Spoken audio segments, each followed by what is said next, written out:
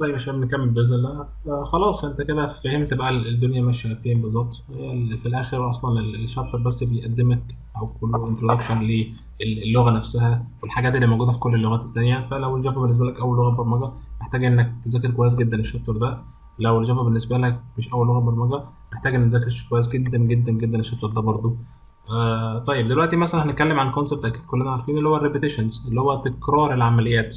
دي حاجة بتديها لنا البرمجة بحيث إن أنا لو عندي كود عايز أكرره أكتر من مرة ببساطة جدا لو أنا عايز مثلا أقول system dot out dot print line مثلا كده وأطبع هنا كده مثلا Java طيب آه أنا لو عايز أطبعها مرتين هقوم مكررها مرتين لو عايز أطبعها ثلاثة بس هل ده مش منطقي؟ لو عايز أطبعها ألف مرة مثلا هل هل هكتبها هنا كده؟ مش منطقي ولا حاجة طبعا خالص. فكل الفكرة إن أنا بيبقى عندي حاجة أو facility معينة بتدهاني ال programming language اللي أنا شغال بيها وهي عملية تكرار الكود بتاعي. تمام؟ إحنا كلنا عارفين ان ال for loop وال while loop وال do while loop كل واحدة فيهم ليها طريقتها. ناخد مثلا ك example على ال for loop مثلا integer i equal equal مثلا zero والاي أقل من آه مثلا خمسين مرة والاي بلس بلس بعد كده نطبع الجافا ديت خمسين مرة حاجات بسيطة جدا كود ما فيش فيه أي حاجة خالص يعني بس هي دي دي فكرة التكرار أو دي فكرة إن أنا بكرر الكود بتاعي أكتر من مرة.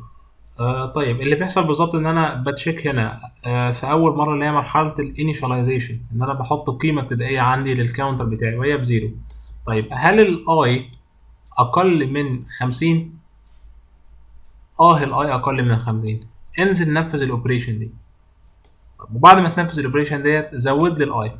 فيجي هنا الاي بقى بواحد. هل الاي أقل من 50 آه انزل نفس الاوبريشن دي. وبعد كده زود دي. خدت بالك من كلمة زود دي؟ يعني خدت بالك؟ مركز في الحتة دي شوية إن أنا خدت بالك إن أنا هنا نزلت الأول نفذت ده بعد كده رحت طالع مزود ده. ما زودتش ده الأول بعد كده رحت منفذ ده. ده تريسنج الفور لوب ده مهم جدا جدا ليك عشان تبقى عارف بالظبط الكود رايح فين بالظبط يعني. آه طيب تعالى بقى نفكنا من الحاجات العبيطة دي. تعالى نقفل ده هنا كده. تعالى كلاس ستودنت بتاعنا. يعني أنا أنا لو عايز أعرف مثلا 20 ستودنت هل هقول كده s1 equal new student واكرر ده 20 مرة؟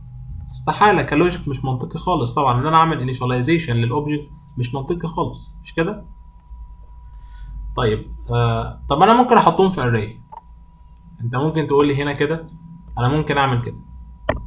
أقول هنا مثلا كده وأسميه uh, student مثلا.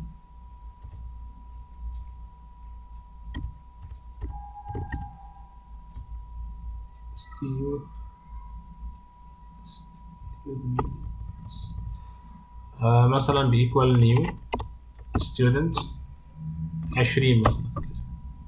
طيب ده كده syntax array مالكش دعوة بيه دلوقتي هنتكلم فيه بالتفصيل ممل بس أنا كل اللي عملت هنا إيه؟ قلت دلوقتي أنا عندي 20 مكان من student حط لي فيهم إيه؟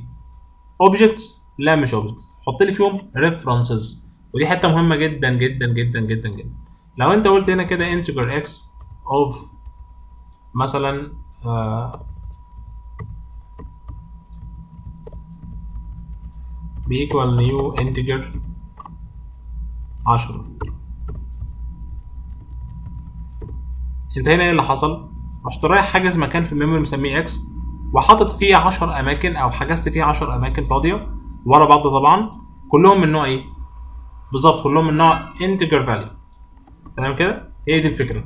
فهنا هنا اللي حصل. حجز 20 مكان في الميموري لريفرنسز مش ل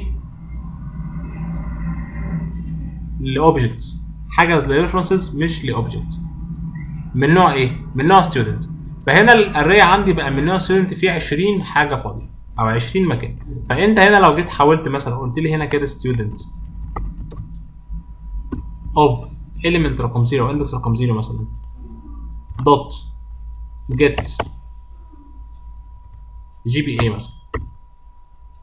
هنا كده. هسيب دي دلوقتي مش عايزها. ورحت جاي عملت run. شايف الايرور ده؟ مش هقول لك عليه اسمه اكسبشن بس هقول لك دلوقتي عليه اسمه null pointer exception. هو من اسمه. تعال نفتح البينت كده.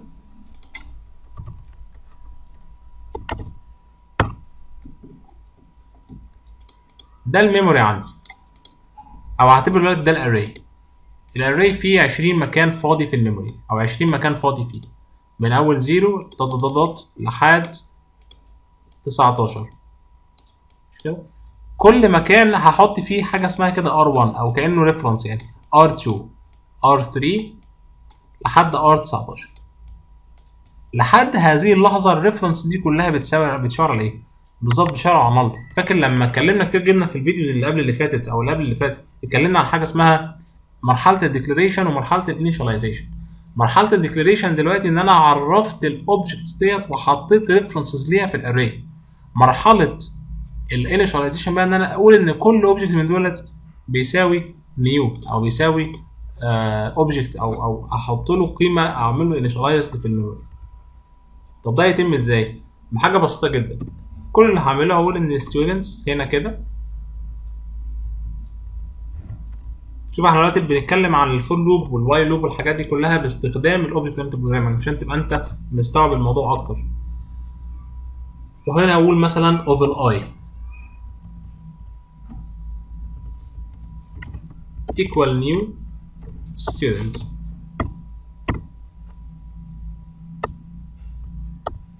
هنا كده لما أقول بقى السطر ده كده أحط بعد الفور لوب هنا.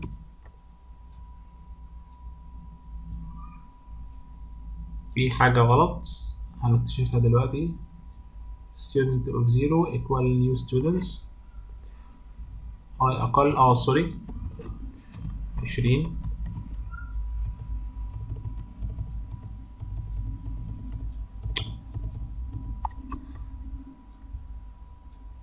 تمام build success. طيب آه هنا كده بقى لو أنا عايز أقول مثلا أو لو أنا قلت كده student.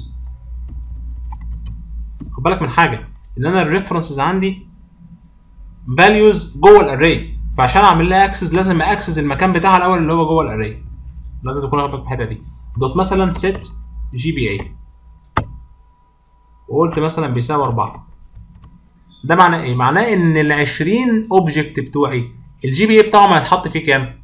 بالظبط هيتحط فيه 4 فلو جيت طبعت مثلا system.out.println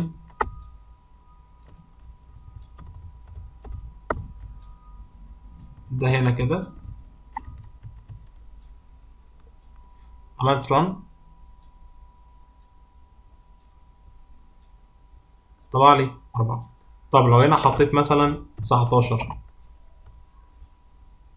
هيطبع لي 4 برضه.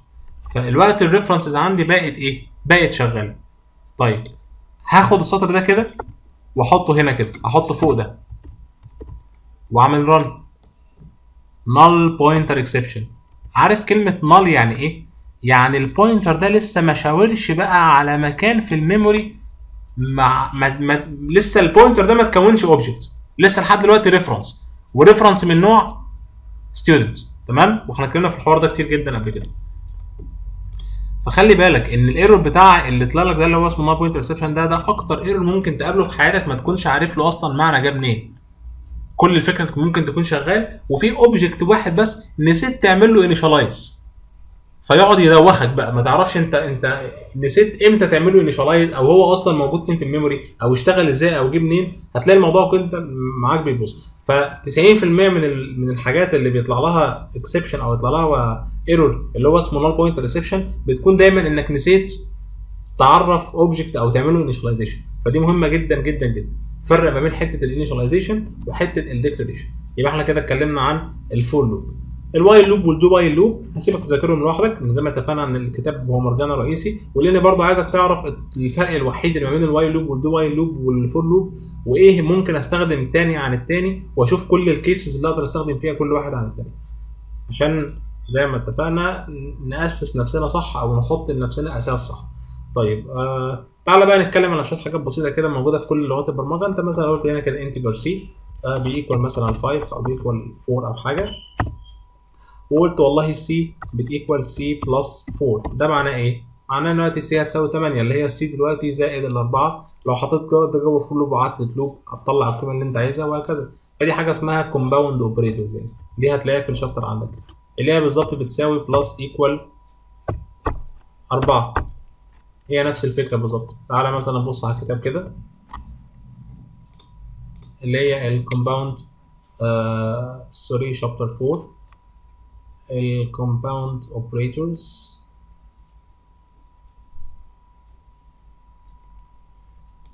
compound assignment operator اللي هي الحاجات دي كده. أو ممكن تخليها بال ال... بالضرب أو بالقسمة أو بأيا كده اللي أنت عايزه. لو قلت هنا كده ضرب. دي كلها حاجات ممكن تعرف تشتغلها. اللي هي بالظبط بتساوي سي في 4 يبقى حاجات بتفرقك دايما عن ال... الواحد اللي فعلا فاهم coding كويس والواحد اللي حافظ كلمتين أو شاف فيديوهين وبدأ يشتغل على اساسهم كده. فلازم تكون فاهم الموضوع ده. حاجة كمان نتكلم عنها اللي هي ال increments وال decrements في حاجة اسمها كده وفي حاجة اسمها كده. مش كده؟ إيه الفرق بينهم الاثنين ده اسمه post increment وده اسمه pre increment ومن اسمهم يعني الاسم بتاعهم بيقول إيه؟ pre يعني حاجة بتحصل قبل وهنا post حاجة بتحصل بعد. فاكر لما قلت هنا إن ال i هي اللي بتزيد بعد كده؟ يعني ال operation دي بتتم الأول وبعد كده ال i ترجع تزيد. صح كده؟ مش كده ولا إيه؟ طيب. تعالى كده نعمل نعمل operation عندنا. يعني مثلا لو قلنا هنا كده integer آه مثلا y بت equal 5 تمام؟ وبعد كده جيت عملت system dot out dot print line y plus plus متوقع يطبع إيه؟ هيطبع الخمسة برضه. ليه بقى طبع الخمسة؟ لأن هنا ال operation اللي بتتم عندي هي الطباعة. وبعد كده ال increment جه بعد كده. فالأول هيطبع وبعد كده هيعمل increment وصل كده طيب لو عملت هنا كده أو لو عملت plus plus y الأول ه increment بعد كده يطبع فهتطلع عندي بستة. ده السهولة. طبعا في كمان decrement في minus minus اللي هي pre وفي ال y y اللي هي برضو minus minus اللي هي post فتقدر تتعامل مع الموضوع بسهولة جدا. طب هتقول لي إيه الصعب في كده؟ أقول لك يعني مفيش حاجة مفيش حاجة سهلة مفيش حد هيديك كده حاجة لله يعني. يعني حتى أسئلة ال interviews اللي بتيجي هتلاقي في interviews دايما يكون فيها أسئلة من الموضوع ده ويحط يركز جدا على دي يشوفك فاهمها كويس ولا لأ. فهو ممكن مثلا يترخم عليك شوية ويقول لك مثلا أنا عندي variable كده اسمه سي السي ده عندي مثلا بيساوي zero دلوقتي مش بيساوي حاجة خالص. وقال لك بعد كده إن ال c ده بقى ب equal x أو y plus plus plus مثلا سي في آه مثلا آه عشرين. مثلا كمان في أقواس مثلا كده. خمسين مثلا في أربعة. وقام قفل ال semicolon وقال لك هنا بلاش في خليها مثلا plus وهنا مثلا كده راح أعمل كل ده كده plus plus أو حط بقى ده كله كده في قوس. sorry في الآخر السي هتعملها plus plus. طيب مش عليها مش مش قصتها دلوقتي طيب ويقول لك ال expression ده هيطلع لي كام؟ فأنت لأول مرة تشوف تقول لي هو في حاجة اسمها plus plus 3 plus لا يعني مفيش حاجة اسمها كده. بس هي بس الفاصلة البسيطة دي كده هي اللي ممكن تلخبطك وأنت بتتعامل مع ال expression ده. تعال نحله كده. خلي مثلا السي دي ب 20 كمان. طيب إحنا ترتيب عمل الترتيب بيتم إزاي؟ خلي دي على. بلاش بلاش عشان نسال الموضوع شوية. أول حاجة ال multiplication بعد كده ال division بعد كده الضرب أو بعد كده sorry بعد كده الجمع اللي هو السميشن بعد كده ال subtraction اللي هو الطرح. ده لو مفيش أقواس، الأقواس دايما بتحط precedence أو precedence rule أعلى. مش كده؟ فهنا ده اللي هيتنفذ الأول اللي هو 50 في 4 بكام؟ ب 200 طيب و20 اللي هي السي نفسها في 20 ب 400 400 على ال 200 فيها كام؟ فيها الاثنين طيب الاثنين دلوقتي زائد كام؟ زائد ال Y. ال Y اللي هي بكام؟ ال Y اللي هي بخمسة. فتفتكر والكلام ده كله هيتحط فين؟ هيتحط في الـ C طب لو جينا عملت هنا كده system dot system مثلا ورحت اطبع لي ال C تتوقع يطبع كام؟ طبعا سبعة. هتقول لي إزاي؟ ده, ده هنا 2 زائد 5 وال Y plus plus لا ال operation اتنفذت. خلاص. بعد كده بقى ال Y هتزيد. يعني ال Y هنا بقى ال Y أصلا بكام؟ ال Y بخمسة. 5 زائد 2 اللي هي ال 400 على ال 200 بسبعة. خلصت خلاص. طب لو هنا جيت بقى طبعت ال Y. هنا بقى هيطبع 6 وصلت كده؟ هنا هيطبع 6 طب تعالى نصعبها شوية. لو جيت هنا بلاش print وجيت عملتها print آه print f وجيت قلت له هنا كده percentage d ال Y تمام كده؟ أو بلاش percentage d هنا كده.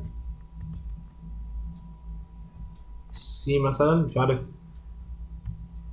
تشتغل هنا ولا لأ. آه تمام مفيش مشكلة.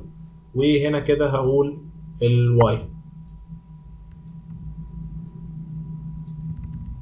هقول هنا مثلا كده ال C بال equal ومثلا ال Y بال equal وبعدين برضه percentage d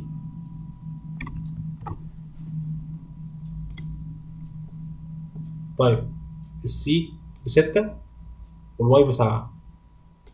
إيه بقى ده؟ يعني ده ده ده اشتغل إزاي؟ أو ده اتعمل إزاي؟ دي حتة أصعب شوية.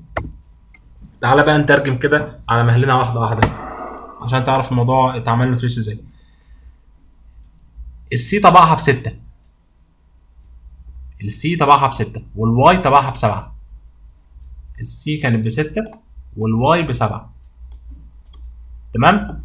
طيب تعالى بقى الكود بيمشي إزاي؟ الكود بيمشي left to right مش كده؟ فهنا هيمشي كده كده كده كده كده كده كده كده لحد ما يوصل لمين؟ لحد ما يوصل لل C مش كده ولا إيه؟ طيب ال C دلوقتي هتساوي كام؟ هتساوي ال Y مش كده؟ طيب ال Y اللي هي C المفروض اللي هي 20 في 20 صح ولا إيه؟ طيب على 400 أو على sorry على 400 آه اللي هي 20 في 20 ب 400 على ال 200 ب 2 طب 2 زائد ال Y ال Y اللي هي بكام؟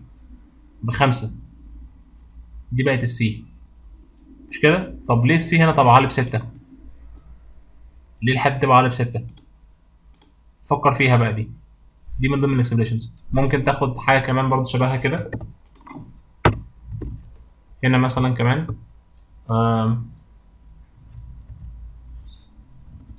تعالى نخلي هنا كده minus minus قلنا كده slash new line بس عشان C بستة وال Y بستة شوف بقى الموضوع بالنسبة لك هيشتغل إزاي. دي دي على فكرة أسئلة interviews دي بتيجي في حتة ال interviews هتقول لي هستخدمها في إيه أو هعملها في إيه؟ المفروض تكون فاهمها بحد كبير وفي نفس الوقت عشان لما تكتب algorithm كبير محترم كده فيه شغل كتير وفيه loops بقى وقصص كتيرة جدا هتلاقي نفسك بتحتاج الحاجات دي كويس قوي أو تبقى فاهم كويس قوي ال concept بتاعها. طب طبعا مصدرنا الوحيد إيه؟ مصدرنا الوحيد الكتاب. حضرتك هتقرأ من الكتاب براحتك خالص خالص خالص خالص وتاخد بقى ال examples بتاعته وتتعامل خالص وتفهم الموضوع كويس جدا. آخر حاجة هنتكلم فيها ال primitive types اتكلمنا عنها كده في الفيديو اللي فات أو اللي قبليه بس ممكن نتكلم عنها شوية باختصار في الفترة دي كده. أه حاجة بس أنا عايز أضيفها على ال primitive types إحنا اتكلمنا ال primitive types بتاعتنا اللي هي الانتجر والشار والفلوت والدبل وال انشار والبوليان بوليان آه، كده تمام. آه إيه تاني؟ بس ده بقى اللي إحنا عارفينهم يعني. آه دول كلهم كده data types كده؟ طب انت فاكر زمان ان كان دايما يقول لك ال C plus plus لما كنت تقول لما كنت مثلا تقول ال integer كده ال integer بتاعي بيساوي 4 bytes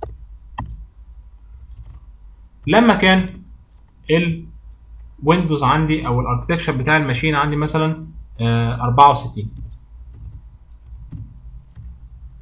وكان برضو ال integer بيساوي 2 بايت لما كان ال machine عندي بتبقى 32 أو بيبقى depends على ال operating system نفسه أو بيبقى depend على ال machine architecture وقصص كتيرة جدا كده مالكش أنت دعوة بيها. طب هل الكلام ده كان كان ميزة ولا كان عيب؟ كل حاجة ليها ميزتها وليها عيبها بس مش هخش في تفاصيلها قوي بس أنا عايز أوصل لك إن دلوقتي ال Java virtual machine لما بتيجي ت run على على platform بت run على أساس إيه؟ بت run على أساس ال platform اللي هي بت run عليه دلوقتي. مش كده؟ يعني تعتبر machine independent مش machine dependent ولا حاجة. machine independent يعني حاجة independent يعني حاجة مش معتمدة على على machine معينة هي ت run بكل اللي هي عايزاه. أو ت run بكل ال source بتاعتها على أي كمبيوتر موجود آه على حسب الكمبيوتر ده بيشتغل إزاي. المهم إن هي في الآخر هت run يعني هت run. طب مين اللي مسؤول عن الموضوع ده؟ اللي هو ال Java virtual machine. طب قال لك إن ال Java virtual machine بتعامل يبقى كده Java virtual machine دايما بتتعامل مع ال primitive بعاني في ال spelling ال primitive data types على إنها machine independent يعني إيه machine independent يعني ملهاش علاقة. بال machine اللي أنت بت run عليها خالص هي في الآخر ال bytes في ال integer هيتخزن 4 bytes أو ال data type في ال integer هيتخزن 4 bytes ال character مثلا هيتخزن 2 ال float هيتخزن مثلا 4 أو هيتخزن 8 أو هيتخزن مش عارف كام.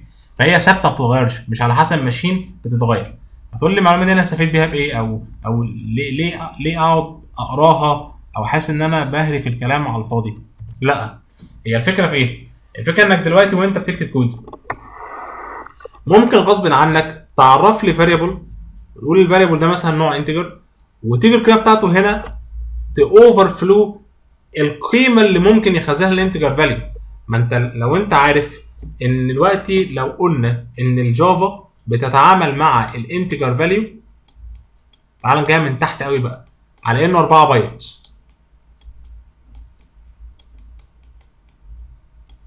مش كده؟ 4 bytes يعني كام bit يعني بالظبط يعني 32 bit اللي هي 4 في 8 مش البايت ده 8 bit ف 4 في 8 ب 32 bit. مش كده؟